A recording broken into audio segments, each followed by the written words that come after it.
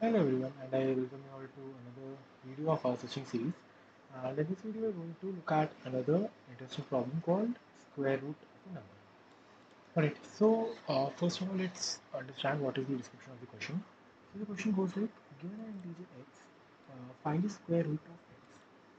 If x is not a perfect square, then return the floor of x. Suppose x is 5, right? Uh, so what would be the square root of 5? Uh, square root of 5 uh, would be 2 point something right? It would be 2.23 and if you set the floor for means the lower value we have already discussed in our previous video. So it would be 2 right?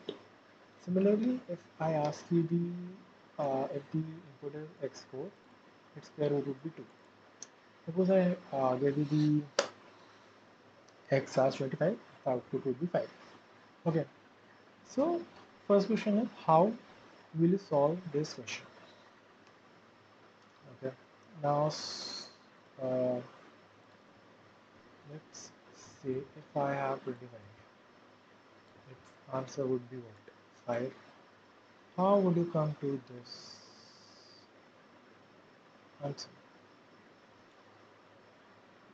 Okay, one thing is we can use an iterator.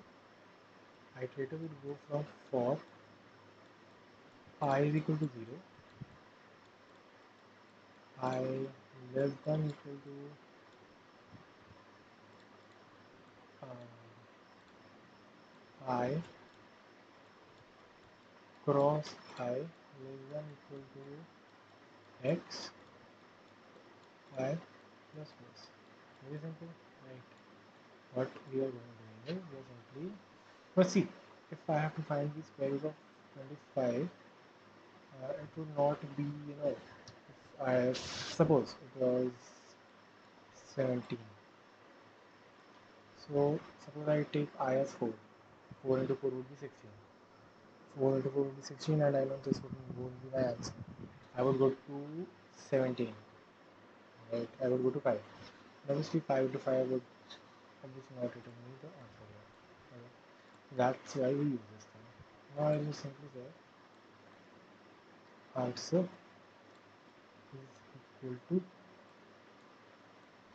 i cross i right now I'd say if my answer equals to x I'll return this. Right what will be the time complexity here? Such operation be O of n power half. Right. So this was the nice solution. Now uh, you may pause the video for two minutes. Think about how you can use a binary search in this thing okay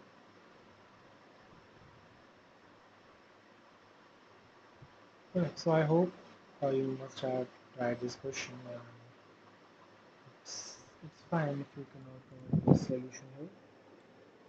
Alright let's try and think how to solve the question.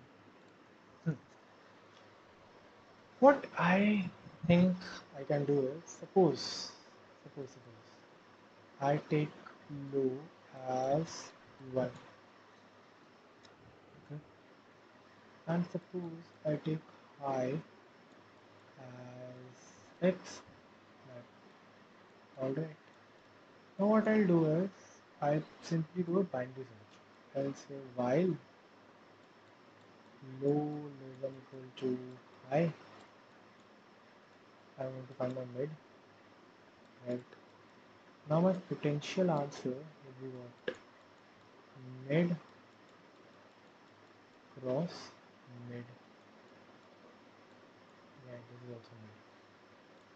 now suppose my potential answer is greater than x. That means my mid is a number greater than the square root of 4 or square root of my x. So obviously I'll put high as mid minus 1 if my potential answer is less than x. So I'll do low equal to mid plus 1 and my potential answer will be the potential answer. Suppose I'm this will the answer here so I just put answer here. Alright. Hmm. now let's try and code this thing out with out.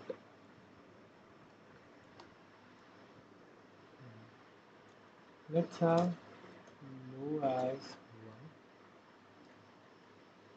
1, high as x, answer as minus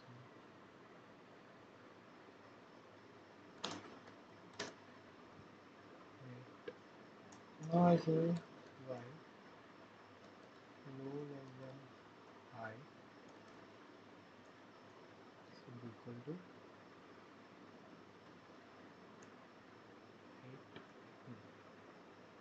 Now what I said let's have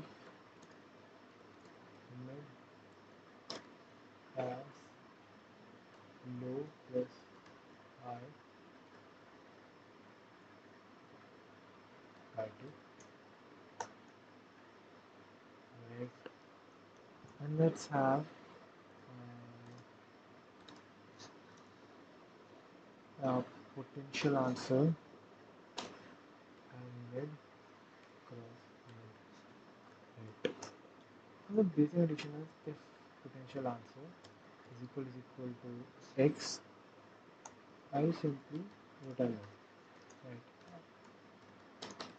And I said the potential answer greater than x I put uh, high as mid minus 1 as we talked I will do two things low would be put as mid plus 1 and answer would be equal to hmm. mid and in the end if we cannot find the exact perfect square root we will go for the floor floor will be the answer. Here so simply here answer. Let's try and apply this video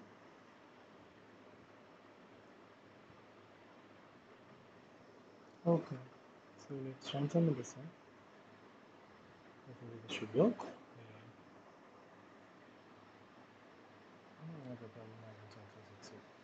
so I hope you understood how this question works. Right. And uh, I guess that was it for this video. And if you have any doubt regarding this video you may ask it in the comment section. In the next video we are going to uh, take some more tough and interesting problems based on binary solution. So thank you once again for watching this video see later